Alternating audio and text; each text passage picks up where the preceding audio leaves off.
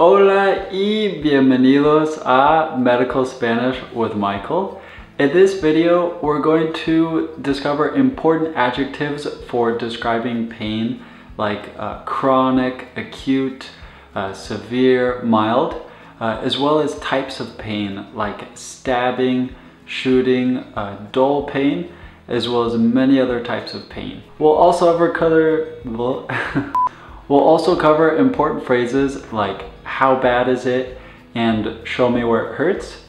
And I've even prepared a little quiz for you at the end of the video. So without further ado, empecemos. Let's get started. So an important question that you'll need to ask your patients uh, to describe the type of pain that they have is ¿Qué tipo de dolor es? Which is what type of pain is it? ¿Qué tipo de dolor es? And we know that just like in English, there are so many types of pain. So we're gonna go through those right now. So to describe a sharp pain, you would say un dolor fuerte. And fuerte means strong, but when you say dolor fuerte, this means a sharp pain in Spanish. Uh, you also have un dolor palpitante.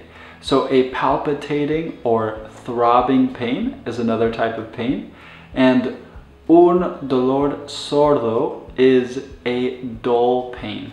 And the other meaning of the word sordo uh, is deaf or hard of hearing. And in order to say stabbing pain, then you can say un dolor punzante, punzante, or you can use just the word punzada alone. So if your patient says, I have a stabbing pain in my stomach, then they would probably say something like, Tengo un dolor punzante en el abdomen. Or to say, I feel a stabbing pain uh, in the stomach or abdomen, then your patient might say something like, Siento una punzada en el abdomen. And to describe a burning sensation in the body, then you can use the word ardor, ardor. And for example, heartburn in Spanish would be ardor de estómago. So to say, I have heartburn, you could say, tengo ardor de estómago. So to ask your patient, do you have heartburn? You could say, ¿Tiene usted ardor de estómago? ¿Tiene usted ardor de estómago? And to describe numbness in the body, then you can use the word adormecimiento. Adormecimiento. And you can see that this has the root verb uh, dormir, which is to sleep. And to describe pins and needles, then you can use the word hormigueos. Hormigueos. And this is related to the word hormiga in Spanish, which is uh, ant, like the insect. So it makes sense that this sensation is kind of like a bunch of ants uh, crawling around your body, or as we would say in English, pins and needles. And to translate the word cramp uh, into Spanish, there are actually a couple different ways. So if you want to say muscle cramp, then you would say un calambre, un calambre, um, noting that this is a masculine word. Um, and to say menstrual cramp, then you would just use the normal um, word for pain, dolor. So un dolor menstrual, un dolor menstrual. So to ask the question, um, how bad is it? Then you could say, ¿Qué tan grave es? ¿Qué tan grave es? So to say mild, then you can use the adjective ligero, ligero. Or you can say leve, uh, which means light or mild. So to say a mild pain or a light pain, then it would be un dolor ligero or un dolor leve. And to describe a moderate pain, then you can say moderado, moderado. Um, so a moderate pain is un dolor moderado.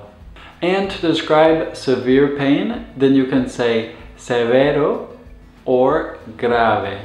So a severe pain is un dolor severo or un dolor grave. Um, but be sure to note that the word grave in Spanish is a lot more common um, than the word severo. So to describe something that is severe, I definitely recommend using grave. And if you need to distinguish between acute and chronic pain, then acute is agudo, agudo or aguda, and chronic is crónico, crónico or crónica. So dolor agudo or dolor crónico. And to describe pain that is constant, you can say constante, dolor constante. Or intermittent pain, dolor intermitente, intermitente. And for general expressions, expresiones generales, uh, if you want to ask the question, where does it hurt? Then you can say, ¿Dónde le duele? ¿Dónde le duele? Uh, and this would be using the formal version for usted. Um, ¿Dónde le duele? And to say, show me where it hurts you, then you can say, muéstreme, muéstreme, show me, el lugar, the place, que le duele, that hurts you. Muéstreme el lugar que le duele. All right, awesome job. Hopefully you've learned some important ways to describe pain for your next Spanish speaking patient. I've also prepared a little quiz of um, English expressions, English sentences that I'd like you to try to translate into Spanish. And what you can do is uh, type your responses and leave those in the comments below. And I will comment back and uh, make sure that it's all correct for you and give you some feedback. All right, so the first of three sentences that I'd like you to try to translate into Spanish is number one, I feel pins and needles on my feet. And the second one is I have a stabbing pain on my back. And the third one is a question that you would ask a patient, which is, do you have any muscle cramps? do you have any muscle cramps? So be sure to try to translate those and type your responses in the comments below and I will comment back and make sure that they're all correct for you. Uh, I've also prepared a summary slide of all of the different ways to describe pain in Spanish and you can take a screenshot of that in three, two, Alright, that's all I have for now. I hope you enjoyed the video. Muchas gracias por ver este video y nos vemos en el próximo video.